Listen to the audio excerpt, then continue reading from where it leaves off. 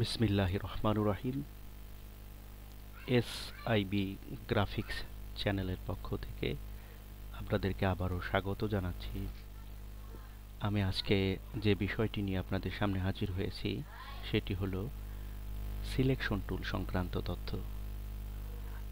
Selection tools এর বহুমুখী ব্যবহার রয়েছে। আপনারা দেখেছেন, আমি সিলেকশন টুল সংক্রান্ত যে থামনেলটি ব্যবহার করেছি multi uses of selection tools অর্থাৎ সিলেকশন টুলস এর ব্যবহার কেমন এবং কোন সময় সে কোন রূপটা ধারণ করে সে সংক্রান্ত। তো চলুন দেখা যাক কীভাবে সিলেকশন টুল কাজ করে। এটি হলো আমাদের Adobe Illustrator CC two version এখানে এই যে প্যানেলটি দেখতে পাচ্ছেন টুলস প্যানেল সবচেয়ে প্রথমে যে টুলটি রয়েছে সেটির নাম হলো সিলেকশন টুলস সিলেকশন টুল এর শর্টকাট কমান্ড হলো ভি অর্থাৎ কিবোর্ড থেকে আপনি ভি প্রেস করতে পারেন। অর্থাৎ ধরুন আমি অন্য একটি টুলস সিলেক্ট করে রাখলাম কিবোর্ডে যদি আমরা ভি প্রেস করি, দেখতে পাচ্ছেন এখানে সিলেকশন টুলসটি অটো সিলেক্ট হয়ে গেছে। তো দুটি পদ্ধতি রয়েছে। মাউস দ্বারা এখানে ক্লিক করেও আপনি এটি সিলেক্ট করতে পারেন, অথবা কিবোর্ড থেকে ভি প্রেস করেও এটি সিলেক্ট করতে পারেন। তো এখন নর্মালি সিলেকশন টুলসটার চেহারা যখন ক্লিক করা হয়, তখন সাধারণত এরকম ব্ল্যাক হয়ে থাকে। দেখতে পাচ্ছি সিলেকশন টুলটা পুরো ব্ল্যাক হয়ে আছে। এখন যে কোনো একটি অবজেক্ট যদি আমরা এখানে ড্র করি, ধরুন আমরা একটি সবুজ কালারের রেক্টেঙ্গেল ড্র করলাম। এখন সিলেকশন টুল নর্মালি অন্য কোনো জায়গায় রাখলে শুধু কালো একটি তীর চিহ্নের মতো দেখাবে। যখনই কোনো শেফের উপর আপনি নিয়ে আসবেন, দেখবেন সিলেকশন টুলের নিচে একটি রেক্টেঙ্গেল ছোট। কালো আকারের একটি রেক্টেঙ্গেল চলে আসবে। অর্থাৎ তখন সিলেকশন টুলটির চেহারা, এই প্রথম যে আইকনটি আমি রেখেছি, এরকম ধারণ করবে। অর্থাৎ যখনই আপনি কোনো শেপের উপরে সিলেকশন টুলস এর আইকনটি রাখব, তখন এটি এরকম দেখা যাবে।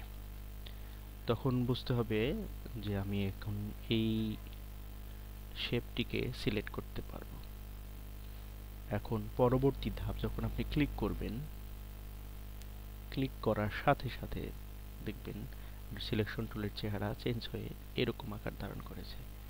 অর্থাৎ কোনো সিলেক্ট করা অবজেক্টের উপরে সিলেকশন টুল রাখলে সিলেকশন চিহ্নর সাথে এরকম একটি চিহ্ন আসবে। আচ্ছা এখন আপডেট ভার্সন হওয়ার কারণে চারপাশে মার্ক এরিয়ার সাথে গোলাকার কিছু চিহ্ন দেখতে পাচ্ছেন। এই গোলাকার চিহ্নগুলো দ্বারা আমি এই কর্নারগুলোকে রাউন্ড করতে পারি। এটাকে লাইভ রাউন্ড বলা হয়। এখন দেখতে পাচ্ছেন যখনই আমি কর্নারের এই বৃত্তের উপরে সিলেকশন টুলটি নিয়ে যাই তখন আমাদের সিলেকশনের চেহারা এই রকম হয়ে যাচ্ছে। অর্থাৎ তীর চিহ্ন নিচে একটি রাউন্ড শেপ চলে আসছে। এটি।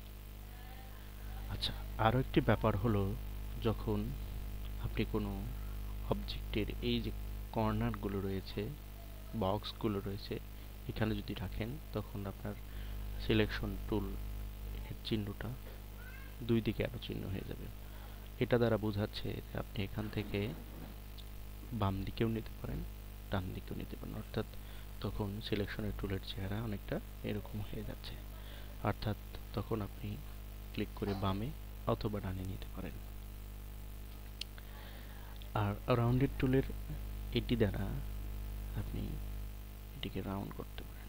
ভিতর দিক টান দিলে, ভিতর দিক রাউন্ড হবে, পাঠিয়ে দিলে রাউন্ড ডিজলভ হয়ে যাবে।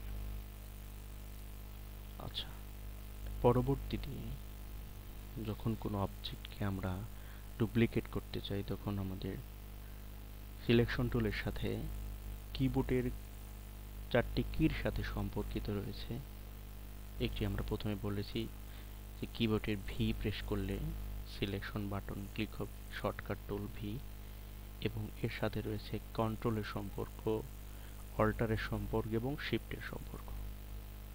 এখন অল্টারের সম্পর্কটা কি? সিলেকশন টুলের সাথে সেই রকম দেখে নিচ্ছি।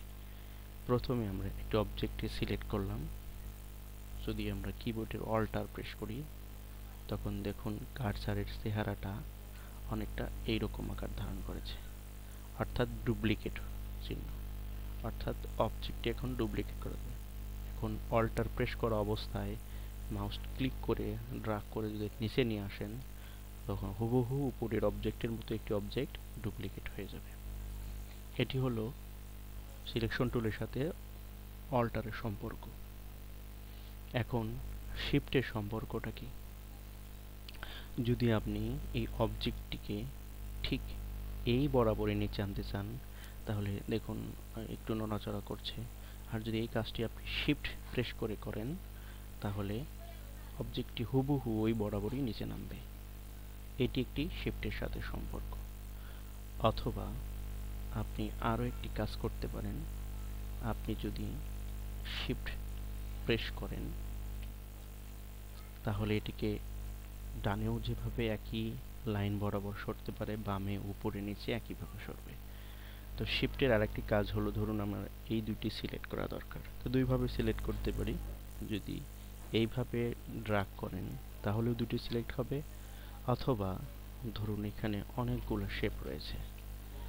এখন আমার এই দুটিকে সিলেক্ট করা দরকার। তো ধরুন আমি এরকমভাবে সিলেক্ট করলে তিনটি সিলেক্ট হয়ে যাচ্ছে। সেই ক্ষেত্রে সুবিধা হলো শিফট ব্যবহার করে আপনি এটি এবং এটি সিলেক্ট করতে পারেন। ধরুন কালার করে নিই, তাহলে আমাদের বোঝাতে সুবিধা হবে। ধরুন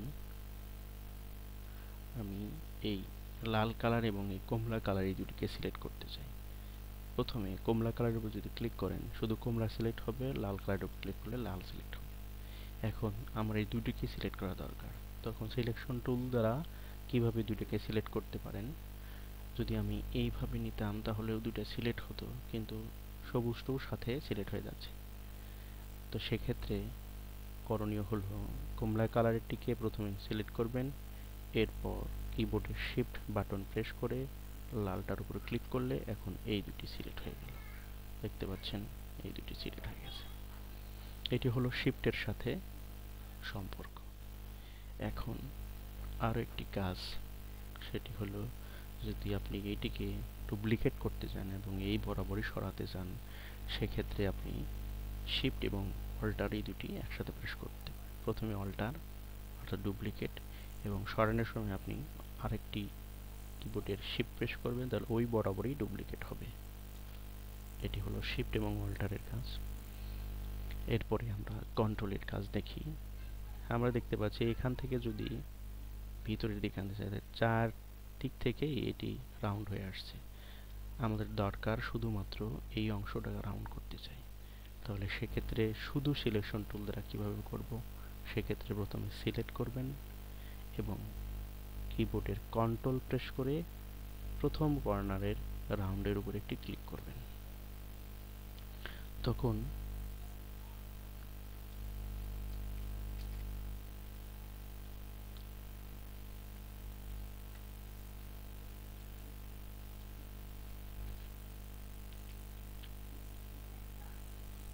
কন্ট্রোল প্রেস করে শুধুমাত্র প্রথম অংশটি আমাদের রাউন্ড হয়েছে। অর্থাৎ আমি আবার দেখাচ্ছি। এইখানে মাউস পয়েন্টটি রাখবেন কন্ট্রোল প্রেস করে।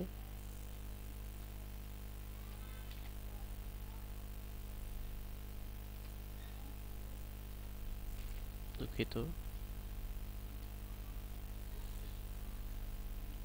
এই যে, আবার দেখাচ্ছি। প্রথমে কন্ট্রোল প্রেস করে এখানে ক্লিক করে নেবেন। তারপরে কন্ট্রোল প্রেস করা অবস্থায় মাউসটি নিচের দিকে নিয়ে আসবেন ক্লিক করা অবস্থায়। তাহলে একটি অংশ শুধুমাত্র এরকম রাউন্ড হবে। আর এই বক্সের ক্ষেত্রে একই। আপনি যদি কন্ট্রোল প্রেস করে কর্নারে প্রেস করেন, সেই ক্ষেত্রে শুধুমাত্র আরগুলো স্থির থাকবে। শুধুমাত্র এই কর্নারটি মুভমেন্ট হবে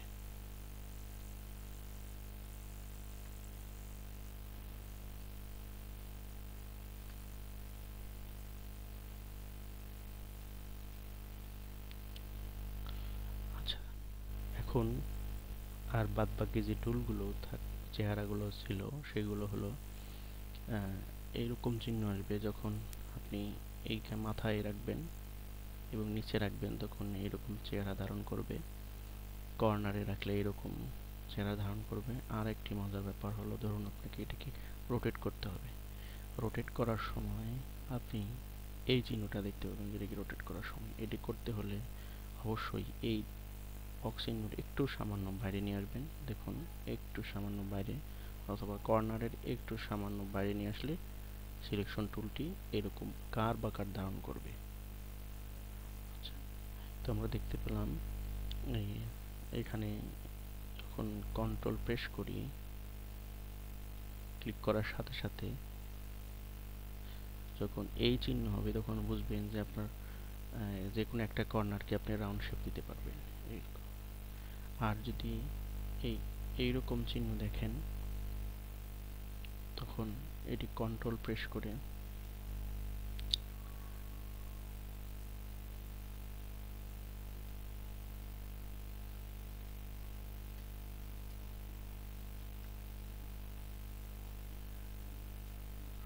এরকম আকার ধারণ করবে। তো আজকে এ পর্যন্তই। ভালো থাকবেন। আজকে আমরা সিলেকশন টুলস দ্বারা কি কি কাজ করা যায় এবং কোন সময় কোন কাজের ক্ষেত্রে কেমন রূপ ধারণ করে সে সংক্রান্ত হেল্প করার চেষ্টা করেছি। ভিডিওর কোয়ালিটি এবং সাউন্ড কোয়ালিটি খারাপ হলে আমাকে ক্ষমা করবেন এবং এখান থেকে যদি কোনো শেখার কিছু থাকে, এটি আমার সার্থকতা। ভালো থাকবেন। সবাইকে পরবর্তী ডাইরেক্ট সিলেকশন টুলের কাজ এর টিউটোরিয়াল দেখার আমন্ত্রণ জানিয়ে আজকে এখানে শেষ করছি। কারও কোনো জিজ্ঞাসা থাকলে কমেন্ট সেকশনে অবশ্যই জিজ্ঞাসা করতে পারেন। সে অব্দি ভালো থাকবেন। আল্লাহ হাফেজ।